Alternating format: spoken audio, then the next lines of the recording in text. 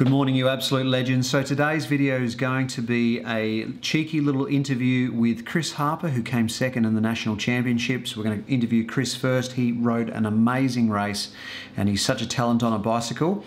And the other interview is Troy Herfoss from the towards the end of the video. Now, Troy is a uh, a motorcyclist. He's a MotoGP champion who has become a bike rider, and I can tell you, a pretty good bike rider. I remember seeing this bloke riding up the hill on his own in the last couple of laps, laps of the national championships, and he had this Terminator type, like he just looked like a machine. So we caught up with Troy, had a quick chat with him, and uh, and that is pretty much it for the for the video today.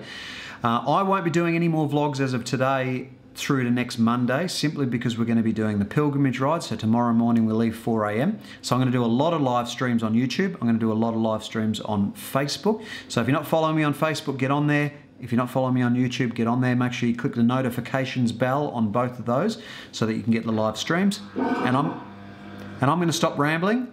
Let's get into the video. So word on the street uh, has it that you know you're, you're such a talent, you're probably going to get picked up by a world tour team. Has anyone been knocking on the door? No, not yet. I uh, yeah, I'm not expecting anything like that anytime soon. So um, just stay focused on what I'm in control of and uh, go to the races. And I'm sure if if I'm good enough to get the results, then I think that'll happen itself. Yeah, yeah. So you you mentioned briefly uh, about the selection for the UniSA thing, and that it was a bit of a, a kerfuffle. So what were you told, and who were you told by? Yeah, so after the road race, um, we, were, we were told by our manager, Andrew Christie Johnson, that uh, probably most of us uh, couldn't couldn't or wouldn't be eligible for selection just because we weren't on that uh, you know doping control. Um, which yeah, we we're actually a bit concerned that you know we weren't too sure who in the team would be able to do it, which was a bit disappointing given we've been given five spots already as part of the new um, new rules cycling Australia were bringing in with the winning team for the NRS. Right. It's a um, it's a, it's a bit of a bizarre. I mean, how do you feel about that? You've had you've missed out on an opportunity to, to ride a, a world tour race because of a clerical error. Yeah, it definitely that sucks. There's, I mean, there's nothing I can do about it. So, um, I'm not going to be too down about it, and I'm just going to focus on the next race. And um, but yeah, it does suck, and especially even if you know the team in previous years, if the team hadn't been given um, the five spots, I think given my ride on Sunday, I probably would have still you know done enough to warrant a spot in the UniS UniSA team how it was set up in the past. So that's a bit disappointing um, in a way for me personally.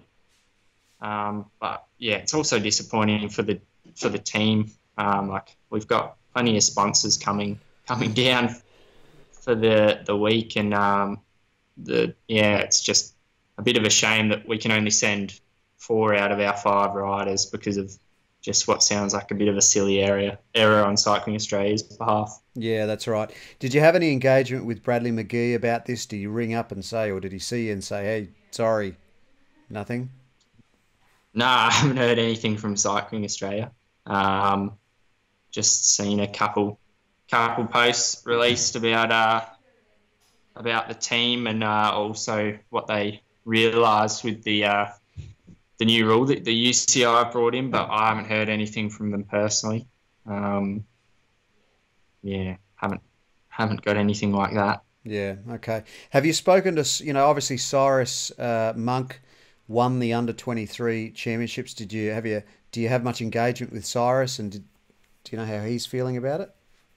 Yeah. No, I don't know. I don't really know Cyrus um, that well. Yeah. Uh, just obviously see him at races and all that, and obviously it's disappointing for him as well. Yeah. Um, when the, the guy who normally wins under 23 nationals is given a spot as well. So yeah, he's in the same boat. Uh, and actually, originally when I first first heard the news, I said, "Oh well, at least Cyrus will be fine because of his stage year with Cannondale." I thought he would have been put on the whereabouts program. So I thought, "Oh well, at least you know he'll be fine. But I read an article, I think it was with Cycling Tips this afternoon, that he filled it all out, and then WADA came back and said, "Nah, stages don't want to be, don't need to be on it." So that's pretty rough luck. That. oh, yeah, good on you, mate. Well, listen, I just wanted to have a quick chat with you for the vlog. Thanks for coming on board, man. What's next for no, you now? What are you going to push on to now? Um, I fly. Uh, I'm yeah lucky enough that Andrew's actually given me a spot in the New uh, the team for New Zealand Cycle Classic. So I fly out of Adelaide on Monday, um, and I'll race over there for the week, and then hopefully come back to Australia. And uh, I think I'm down at this stage to do the Herald Sun Tour as well. So still got a good block of racing in, which is awesome. Yeah, good on you, dude. Well, good luck and uh, I'm looking forward to keeping track and watching your performances uh, in, oh, the, in the next couple of years, man. Oh, awesome. Thanks for having me. All right, Troy. Thanks for being on the Cycling Maven YouTube channel, mate. Uh, you had an outstanding ride on the weekend. Can you tell us a little bit about the uh, the last few laps? Yeah, thanks, Mark. It's been a, a pretty cool couple of days, really.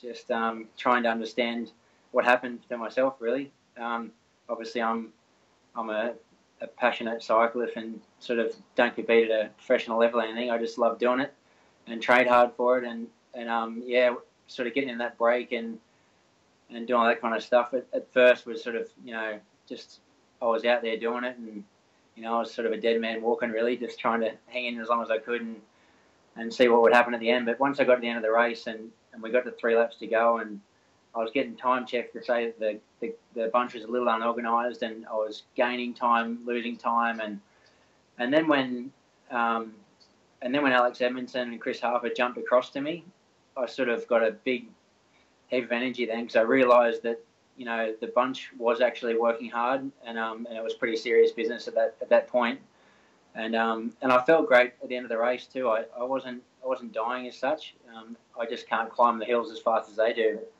yeah, it was it was pretty amazing feeling coming up, you know, bunning on on my own. Just the the crowd. I'd obviously Googled me as the race went on, and my name was getting shouted everywhere, and it was just an amazing experience. Mate, I uh, I have to admit, right, in one of my blogs, I was like, look at this guy. I can't I can't remember his name, and the guy behind me said it's Troy Herfoss, and I was like, and I started googling you.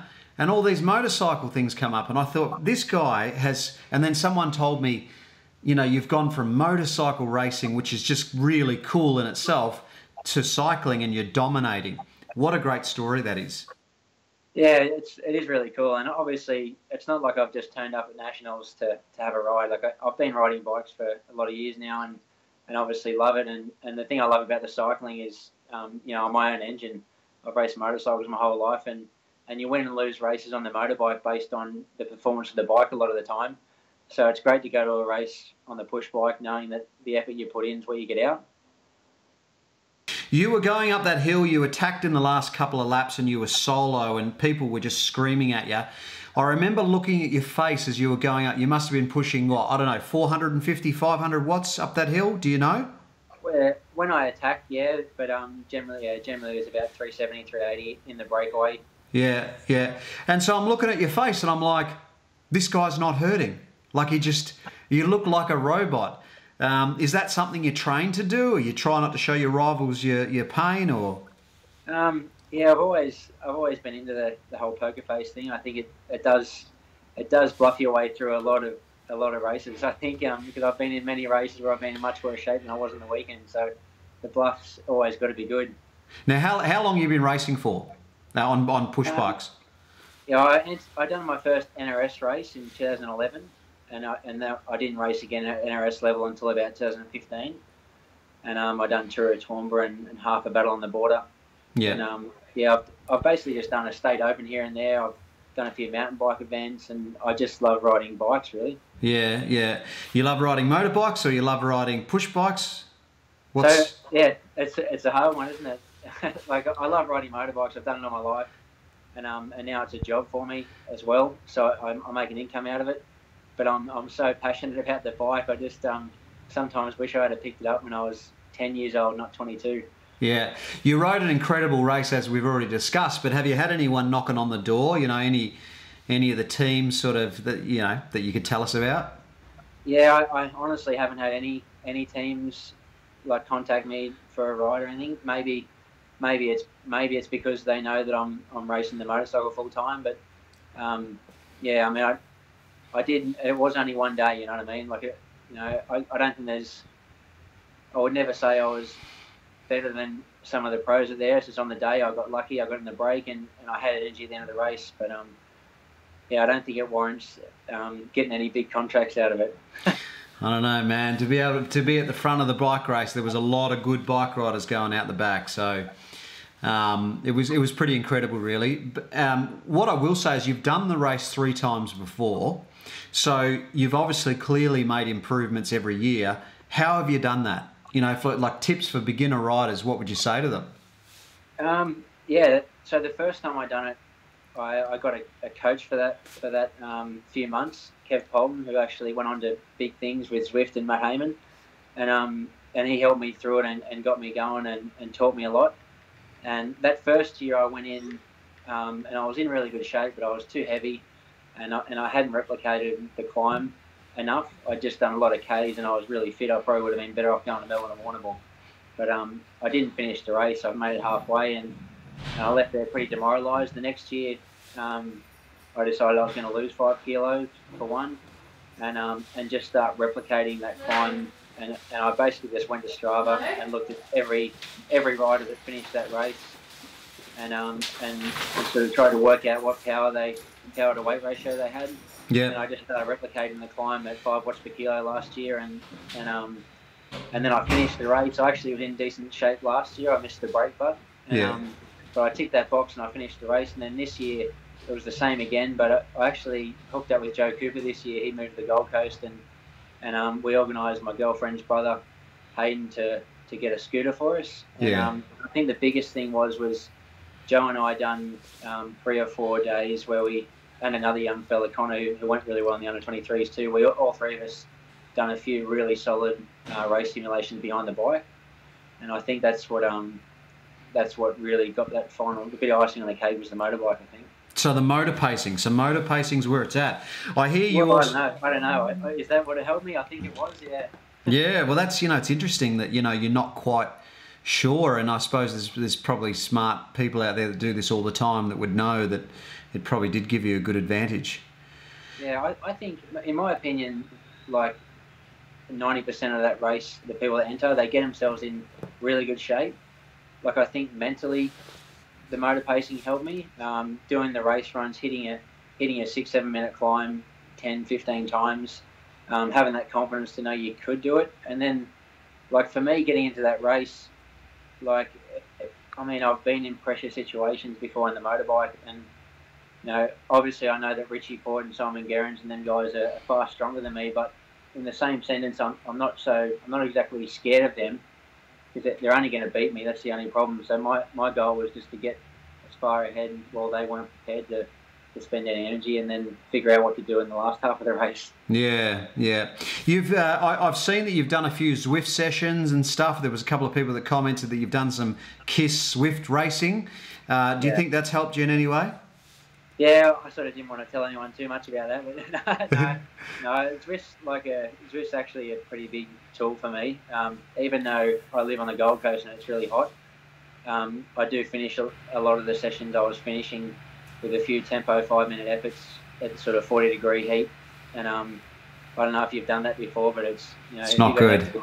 200 watts, then you're doing about 110 watts at threshold heart rate at the end of a heat session. So I think that's another thing I added in this year, that the training at heat, and that was a, a tip from Kev Poulton, and he sort of told me to. He actually told me to start doing some double sessions in there, and and I, I was I wasn't doing too many double sessions, but I was finishing a few rides with a, a bit of um, time on the ergo. Yeah. There you go, guys. There you go. The indoor trainer. The indoor trainer's where it's at. It's not much fun, but and everyone says to me, ah. "Why do you do it?" But like, I just find it, it's so much bang for your buck. Yeah. That that program's getting so cool now. Yeah. You can get on there, talk to your mates, you can race everyone.